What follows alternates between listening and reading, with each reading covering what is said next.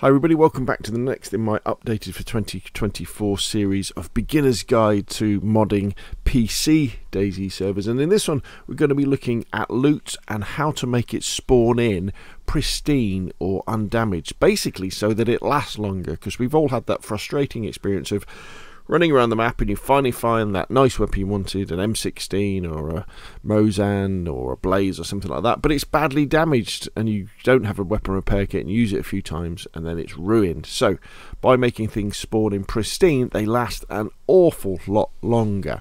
Um, and it's really easy to do this one. But before we get started, I just want to remind everybody that in the description below this video, you'll find a link to the playlist that has all of these updated for 2024 DayZ PC community server videos in it, because this is a series of videos. Um, and you'll you'll also see a previous video link and a next video link because I've tried to record them kind of in a logical order so that if you're very new to this, each video builds on the last in expanding your knowledge and skills on how to actually do this. So let's get started. Now, the files we're going to be looking at are globals.xml on your server and CFG spawnable types on your server as well. These are the ones that control damage. So what we're going to do is go over to your um, server dashboard. Um, I'm using Nitrado as an example here. So I'm over at the dashboard and then what we want to do is we want to go into the file browser. So go to the file browser and then we'll want to go into DayZ standalone. And then we need to get ourselves inside the missions folder or the missions directory MP missions. And once we're in there, we want to go into Chernarus. Well, I want to go into Chernarus for this server because it's a Chernarus server. If you were working on a Livonia server, it would be Enoch. So we click on Chernarus. And then we want to go into the DB directory, um, or the DB folder. And then the file we're interested in is globals.xml. Now, again, I don't always recommend edit editing files in the in the uh, web browser, but this one we've only got a few little changes to do, so we're going to do that. So click on that. Um, obviously, you can download it as well. And globals.xml has some really interesting settings in it. Um, I think we've talked before about the um, logging in value, haven't we? Every uh, time login, yeah. So what we'll do now is we'll look at this one here. So what we're after is variable name equals loot damage max and variable name loot damage min. Um, and then you see we've got two values here. what this means is when loot um, spawns in on your server, the minimum damage it can have is zero, which means pristine. So it can spawn in pristine. So that's pretty cool, isn't it? However, the max damage it can spawn in is 0.82, which I think is badly damaged. I don't think you ever find anything ruined on a server when you pick it up. But um, it's badly damaged. So what we can do is if we change that 0.82 to 0.01, like that, um, and then we save the changes, that means a lot of loot will now spawn in once we've restarted the server so those changes take effect pristine. And this makes a massive difference when you're playing the game honestly. When you can pick something up and it's pristine the amount of life it has is an awful lot. Now while we're here as well I'll tell you what we will do.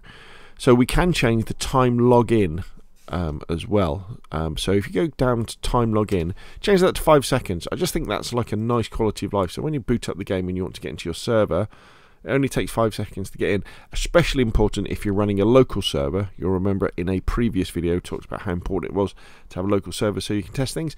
Well, if you're not having to wait 15 seconds, you only have to wait five. That can make a big difference. If you want to, change the log out as well. Obviously, it depends on the server if you want to avoid the situation where people are combat logging, so whereby they're getting into a firefight and they're just logging out to, to save themselves, then you don't want your time log out to be short, to be honest. In fact, you may even want to make it longer. But the important thing for this one was loot damage max and loot damage min. Um, and then we'll save those changes and then we would then restart the server.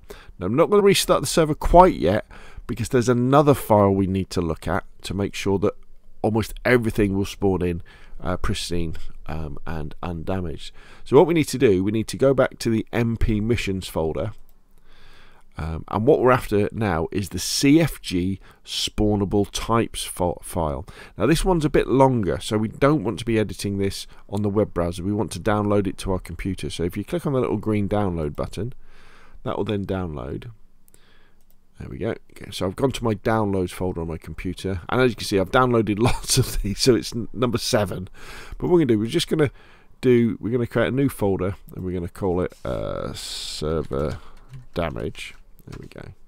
And we're just going to drag and drop that server CFG, uh, sorry, CFG spawnable types into server damage. There we go. So that's there, and then we're just going to um, left click it, and then we're just going to get rid of that. So that is now CFG spawnable types. And now we want to edit it. So I'm going to right click and I'm going to edit it with Notepad++. You can uh, edit it with Notepad if you want. Remember, Notepad++ is very powerful. Highly recommend Notepad++. When you come to do more advanced things, it can be very, very useful. And at a minimum, it color codes stuff, so it's easier to see mistakes. Now, CFG spawnable types is an incredibly important uh, file in your server. What it does is it answers certain questions that the server might have when it spawns something in. One of them being, when I spawn something in, should it have a different damage value to the value that is in globals.xml.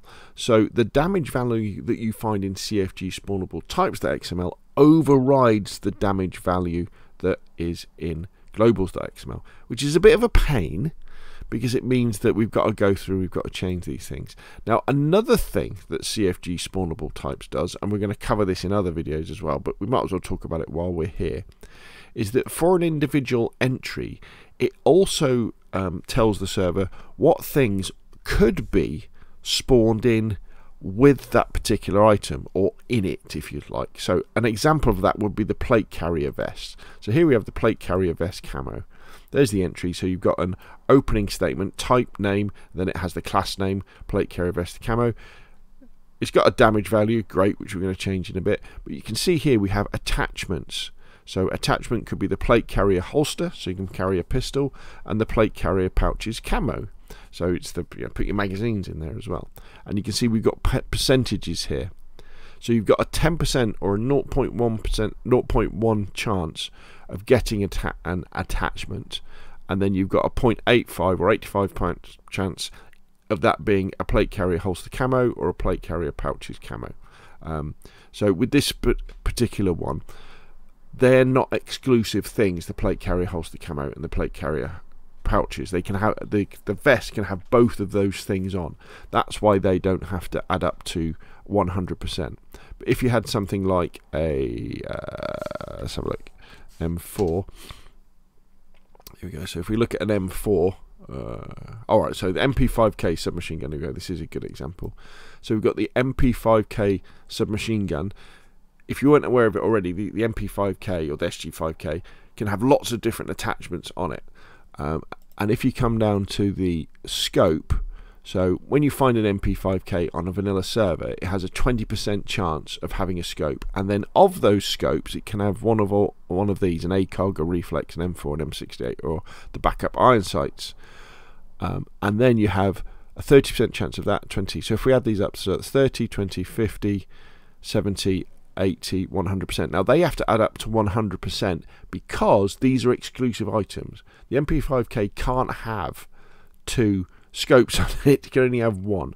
So the, ch the chance has to add up to 100. So anyway, so that's a brief introduction. We will be covering that in detail later on when we look at how to spawn in guns with scopes and, and all sorts of stuff. But for now, we're talking about damage. Now what we're going to do is we're going to kind of edit these in a very simple way. Now there is a better way of doing this and if you're good with find and replace you'll probably know what that is. So all we're going to do is we're going to left click and we're going to drag across and we're just going to highlight this whole statement and then we're going to right click and we're going to copy that.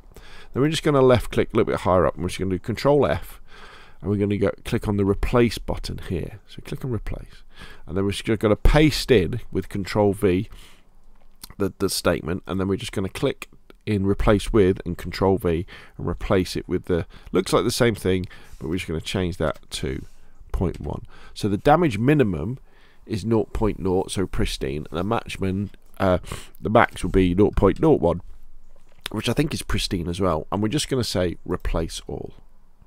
Okay so it's done eight things. Now that won't be all of them if you're familiar with how to use wildcards, you could use those to replace all of them, but we can't. So we're going to do is just going to scroll down, and you're just going to go through and you're just going to look for, for so there we go. So we've got another one here that's different. So damage 0.1, max equals 0.6. So we're just going to copy that statement there, left click above it, control F for find, find and replace, and we're just going to paste in what it says on the top. Now our replace with is still the same, so we can say replace all. So oh, there was only one of those, bit of a bummer. So let's scroll down. So car radiators. So we could just right click, copy that, left click above, control F, click on find and replace, paste that over the top. Our bottom statement is still the same, replace all. So there's 18 things. And we just keep scrolling down, dum da dum da dum da dum da dum, till we find some more damage stuff. Shells. Nothing there. See, these have already been done. We've already caught these. Scrolling down.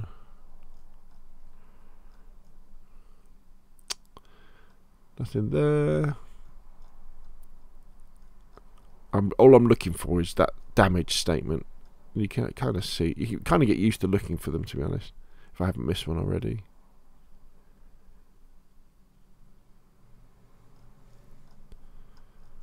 In fact what we could do is if we do control F and we search for uh, damage so you just go damage like that we can say find all.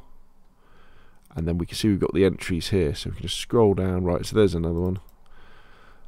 So AKM damage min equals 0.45 max equals 0.85 so let's left click let's copy that.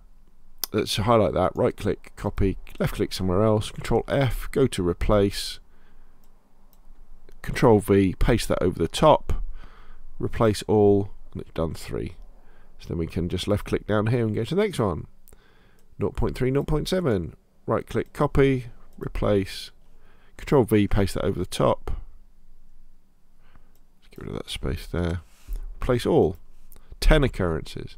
And so on and so forth. So you're just going along and you're just replacing them all and, make, and changing them so that you haven't got anything that will spawn in damaged. And then you just want to hit save before you carry on.